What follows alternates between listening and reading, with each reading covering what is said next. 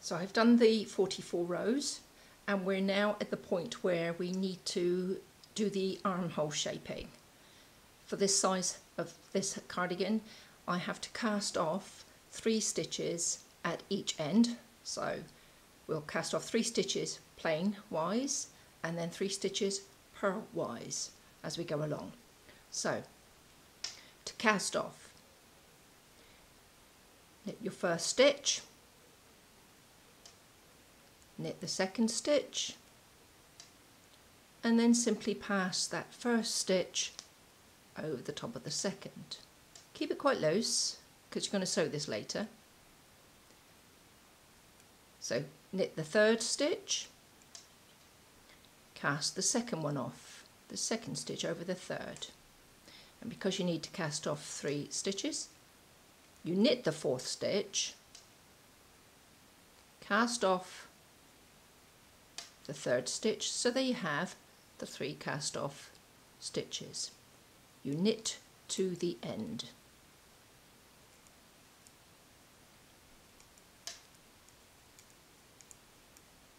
So just gaily carry on.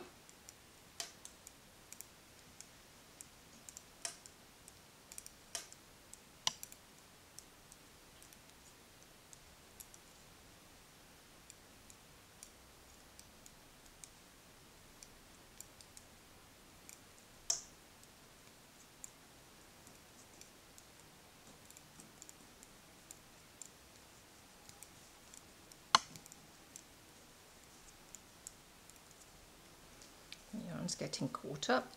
Right, carry on.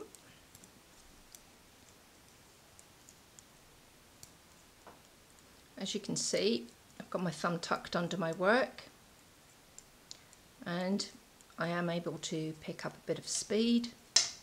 So as before, just going in the front, loop the yarn around the needle, bring it through,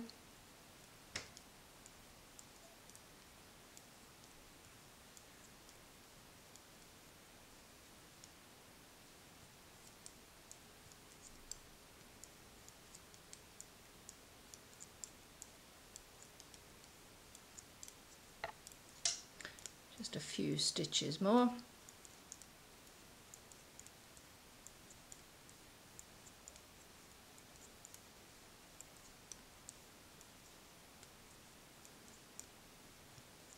Okay so turn the work. There's your three cast off at the beginning. We now need to cast off three this end so going purlwise purl your first stitch, purl your second stitch, pass the first stitch over the second for your first cast off, purl the third stitch, cast the second stitch over the third, then purl the fourth stitch, again cast the third stitch over the fourth, and then carry on, purl to the end.